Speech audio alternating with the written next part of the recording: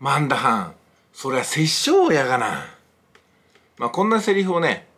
あの例の南の帝王の中で言わされる脇役が結構いるんですよね。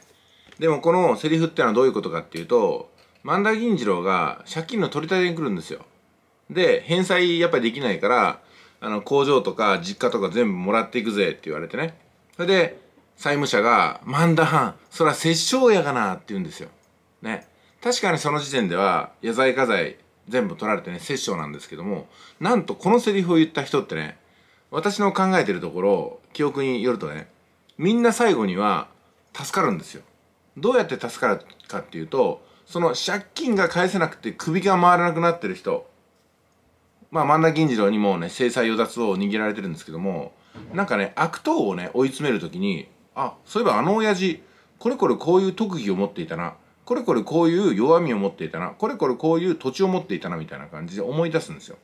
で、それを悪党にぶつけることによって、悪党が、すいませんでしたってなって、で、結局悪党からごっそりとね、お金を奪い取って、で、その親父の、殺生な親父の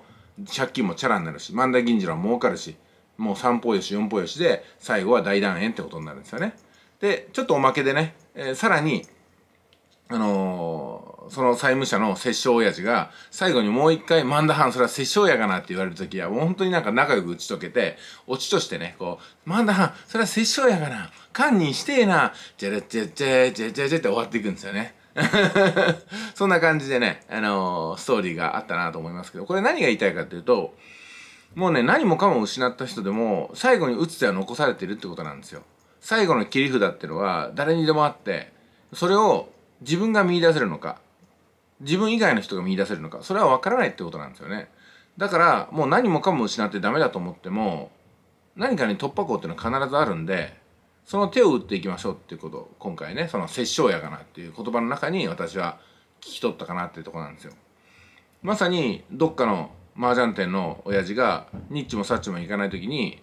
なんかねヘリコプターでそばを食いに行くネオヒルズ族みたいなのねあの耳にしてでもう他に打つ手もないしやってみっかって感じでやってみたら案外ねそのネットビジネスが肌に合ってたってこともあるんですよね。だからこう眉間の割っていうんですか今までやってなかったからこそその可能性に気づけるってこともあってパソコンのこととかインターネットこととかねすごくオンラインこととかもう苦手とは言わないですよ。